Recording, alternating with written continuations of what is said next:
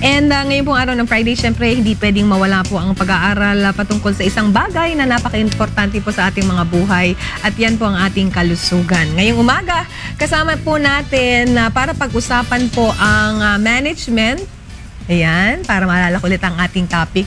Yung management, pakibaba, yung management of hypertension and diabetes. Kasi usually pinag-aaralan natin ang diabetes, usually pinag-aaralan natin ang hypertension. Ngayon ito combined. Ayan, meron palang ganun.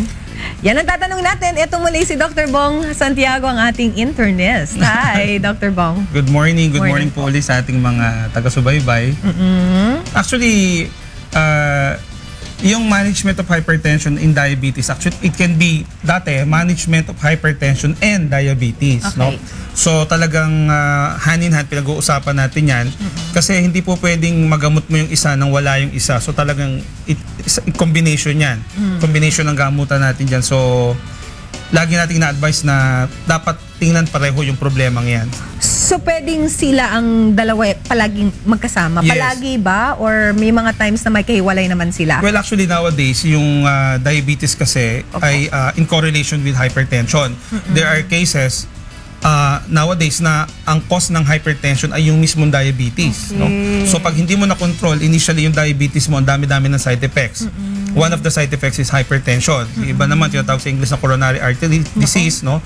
Mga bara sa ugat, especially sa puso, yung iba na uwi sa stroke, mm-hmm. mga sugat na hindi gumagaling, pangangati ng balat, etc. So basically, yung hypertension kasama sa umbrella na ang cause ay diabetes talaga. Okay, so since may diabetes ka na, ang pag-uusapan natin, paano i-manage yung hypertension mm-hmm. ng mga taong may diabetes? Okay. Paano nga po ba ginagawa yan, doctor? Okay, number one, uh, dapat kasi ma- ma-detect muna na talagang may hypertension, definitely. Ano? So para pa makita mo ang isang pasyente na may high blood, kahit sa kanyang sarili, pwede niya makita yon in 1 to 7 or maybe 14 days, pwede mong i-check ang BP mo every day. No? Okay. Titingnan mo 2 to 3 times in that particular 14 days kung high blood ka 2 to 3 times na doon sa pag-check mo, elevated talaga ang BP mo, more, more than 130, more than 140 systolic, no? Mm-hmm. So pag nangyari Ano yung 130, 140 systolic, Doc? Okay, di ba ang BP natin is sa systolic ano? over diastolic, no? okay. 140 over 90, ganun. Ano po ang normal na BP dapat ng tao? Well, ideally, ang normal BP natin 120 over 80, yun okay. sinasabi. Pero kino, kino-correlate natin yan sa lifestyle, ano? Okay. Hindi naman, may mga cases kasi na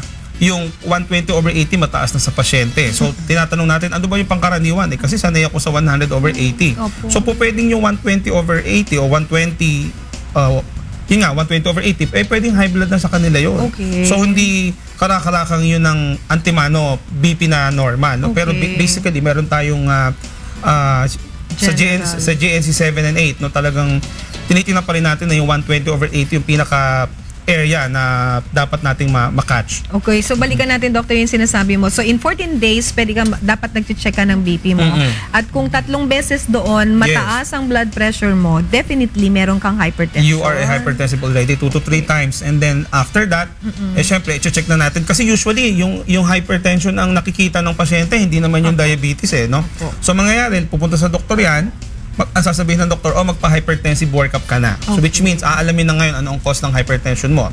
Is it uh, a rise in the sugar level, fasting blood sugar, check mo yan, HbA1c, cholesterol, total cholesterol, triglycerides, baka mataas ang uric acid mo, ECG, baka, so basically, ito ay isang uh, series of examinations na pertaining to the hypertension, ano ang cause at ano yung mga probable, uh, possible na mga gamot mm-hmm. na pa pwedeng ibigay mo sa pasyente kasi iba-ibang pasyente, iba-ibang gamot ang pwede mong ibigay. Opo. Especially right now, ang discussion natin is with diabetes, ano? Mm-hmm. So may mga gamot sa high blood na in correlation pa pwede mong makakatulong sa pagpapababa ng sugar niya. Okay. At ibig sabihin, yung mga uh, side effects ng sugar, especially yung tatawag na renal failure o yung pagkasira ng bato, may mga gamot na po pwedeng gamitin. Mm-hmm. Gamot sa high blood na makakatulong para huwag magkaroon ng malalang side effects, especially ng diabetes. Okay.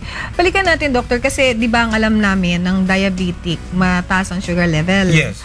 Ang hypertension naman po, mataas ang presyon ng dugo. Mm. Ano, kasi gusto na malaman, ano ba kinalaman po ng pagtaas ng sugar level dun sa presyon ng dugo ng isang tao ah, okay. para mag-cause ng hypertension? Okay, usually, uh, pag ang uh, ang sugar mo ay uncontrolled, yes. no?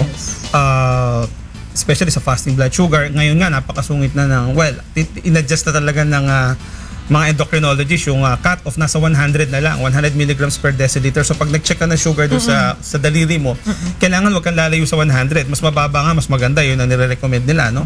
So, habang hindi mo nakokontrol yung sugar mo, yung mga ugat mo sa sa katawan mo, yung mga microvascular vasculature natin, yung mga maliliit na ugat natin nasa mga dulo-dulo ng ating katawan, yun ang mga unang tinatamaan ng side effect ng diabetes. So nagkakaroon ng pagkasira yung mga ugat na yan. No? So magkakaroon ng plug o pagbabara. Yung iba madaling ah, ah, nagagato, ika nga sa salitang Tagalog. So definitely, pag nagkaroon ka na ng problema sa, yung, sa mga ugat mo, sa arteries mo, that is the time na magkakaroon ka ngayon ng pagtaas ng presyon. Parang tubo lang yan ng tubig na pag may mga kalawang na o pagbabara, nahihirapan dumalo yung tubig. So, ah, the same is saying, dun sa blood na dumadaan sa ugat, nagkakaroon ngayon ng pagtaas ng pressure. Kaya tinatawag na high blood pressure.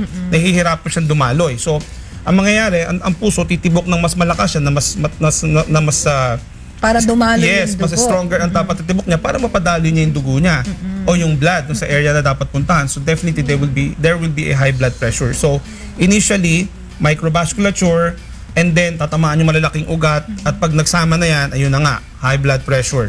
Uh, usually late na na-detect, mataas na ang BP, 140, 160. Eh magsasabi ang pasyente, eh, wala naman ho akong nararamdaman. Yes, that's true. Initially walang mararamdaman, walang headache, walang ah, dizziness, hindi mahihilo ang Sakit pasyente. daw sa no? batok, Doc. Yes, oo. Kung hindi naman nararamdaman, usually, lalo na sa Philippine setting, no, hindi Opo. naman natin masyadong pinapansin. Eh, yun na nga yung problema. So, we have to treat.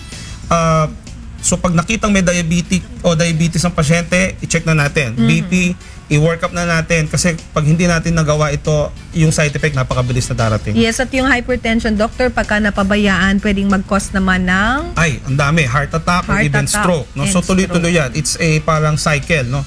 Vicious cycle na tinatawag. So dapat at uh, early on, Mm-hmm. especially doon sa mga type 1, no? sa mga bata, kasi dalawang klase ng diabetes natin. Although hindi lang talaga dalawa, pero yung common is type 1, type 2. Mm-hmm. In both cases, ugat pa rin ang unang tatamaan yan. So ang daming areas of the body na maapektuhan. Na, yun na nga, number one problem, hypertension. na pwedeng ikamatay ng isang Ay, tao. of course, yes. Eh, okay na sana kung mamamatay ka. Kaya lang, pagka na-stroke ka, tapos naging vegetable ka, mas mahirap, Or even diba? yung sudden, yung heart attack, sudden, sudden ano yun, sudden Tapos attack. heart attack. maparalyze yes, ka. so kamukha nung nagtanong kanina, Oo, stroke ayaw, siya. ayaw natin yan mga kasambay. So yung pong ah, diabetes ay isang sakit na napakaraming komplikasyon na siyang nagiging sanhi ng pagkakasakit more at pagkamatay ng mga tao. So dapat controlled. Yes, controlled. Okay. Oo. Alright, so kung gusto niyo po magpa-check up, si Dr. Bong Santiago ay laging matatagpuan dyan po sa May Apalit, Pampanga every Saturday. At ah, eh, sa Bulacan naman po, Doctor, di ba? Every, kailan ka naman po doon? Actually, everyday ako nasa Everyday Bulacan. Opo, meron po Okay. tayong assignment sa gobyerno Apo. sa Emilio Perez Memorial ah, Hospital dyan sa Haguni, Bulacan. And uh, meron din po tayong ah, mga pasyente dyan sa may bandang Malolos. But yun nga, kung gusto po ninyo, meron tayong libre ding gamutan sa Yes. Apalit, Pampanga. Magtungo po kayo doon. Meron clinic ni Kuya na tayo po ay uh, awat tulong ay napag ah, nakakatulong, I mean, napagtsatsagaan tayo ng mga pasyente na Opo. sa maliit na paglilingkod ay nakakatulong po. Yes, ayan. Salamat po ng marami sa Diyos. Thank you very Salamat much for always being here every Friday, Doc. Ayan, salamat po ng marami.